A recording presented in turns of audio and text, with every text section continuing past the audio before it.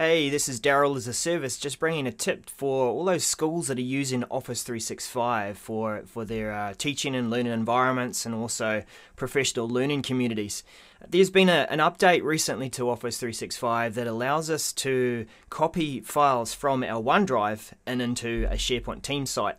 Uh, so when we've had uh, OneDrive um, for a while now, it's been really easy for us to create those documents and uh, do it in that personal space and and then maybe invite some people to it. And that's been quite a common scenario. We've also had our class notebooks in our own OneDrives for some time. And it's it's really um, ideal to try and get that content into into uh, a place where the rest of uh, our teaching team or, or, our class can can see that content. So I'm just going to step through a scenario here uh, to show you um, some of the, the updates and also how it's a huge advantage that now you can move these documents around between OneDrive and into another SharePoint team site, um, into an Office 365 group, or even between um, different sites as well. So we'll just step through that scenario. So I've got a teacher here, um, Elizabeth Metcalf. Uh, she has been working on a lesson plan about photosynthesis, and she has invited uh, the other teacher, Darrell Webster, uh, to to assist with that. So um, the uh, experience for her, she's been able to create that document. She might have dragged it and dropped it, uploaded it, might have even synced it from her desktop. So we're going to go over and have a look at um, the co-teacher's experience, Darrell. Uh, he's uh, also within his OneDrive, and, and up until now, he's been uh, looking at this document and it's been shared with him. And so he can go to that, that category and um, start to work on that document. So we've got a uh, photosynthesis plan, and um, I did borrow this from a, uh, a site here, so I just want to call out the source because that's what um, uh, good referencing does. And um, he uh, contributes to that document, so we could just go and edit in the browser and make a few changes. Um, let's just uh, increase uh, that to, let's say the heading 2 perhaps. So that's enough of a change. Um, so he's made that change. Now, as we know, as we're working on these documents um, live, that uh, they're constantly saving and changing, uh, saving back to that OneDrive. So we could go back to Elizabeth's uh, uh OneDrive, and this is again still Darrell looking at the file that has been shared with him from Elizabeth's OneDrive. So back over to Elizabeth's experience of that you know we've been uh, these two teachers have been working on this document for a while and uh, they really want to get this into a place where the rest of their teaching team can can work on this together and, and review it. And that might be their professional learning community.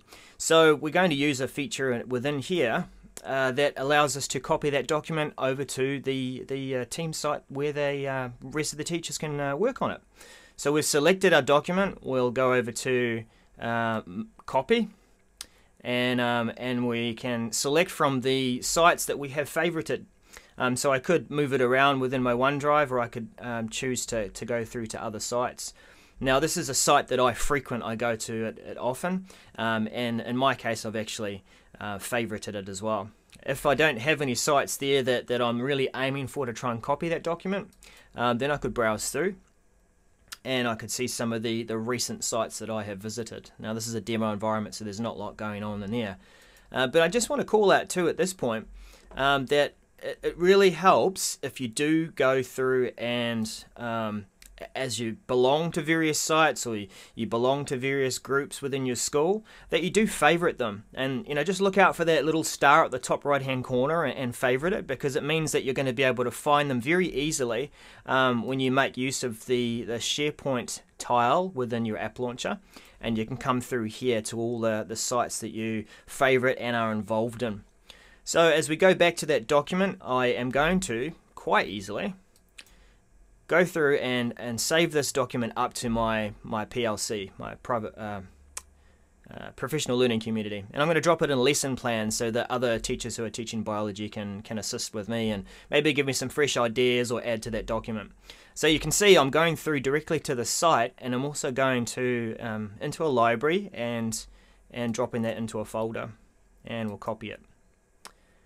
Now, a good thing about this is that um, it gives me a hint to say, yes, I, I have copied it through, and I can click on that link and I can see that it has landed in the right place, um, that it is in the, uh, the 10, Year 10 Biology um, private uh, professional learning community in the documents library and in my lesson plan folder. So now it's in a place where everyone who belongs to that PLC um, is able to to have some input and have some discussions around that document um, and and enrich more of that content. So this has been a really good a really good uh, uh, update feature um, that we really have needed this for a while because um, it's been so much easier for us to to um, collaborate and, and, work on things within our OneDrives because we can just um, sync it. We can, um, you know, we've got other content in there as well. But now we can push this out to, to our PLC groups. Um, we could save it up to our Microsoft Classroom. If we're using team sites just for classrooms as well, we could push the documents up there.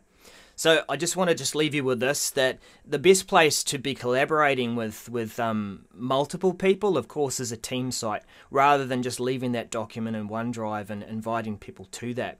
So if you can get get your understanding around this tip, that it's quite simple to copy these documents up to those common places and really get that collaboration going. And if possible, if you if you do have the foresight and think you know what, this document is going to need to be somewhere where everyone can get to it.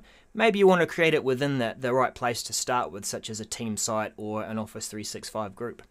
So thanks for tuning in. That's been a, a tip from uh, Darrell as a service, and um, we'll, we'll tune out now and just keep in touch.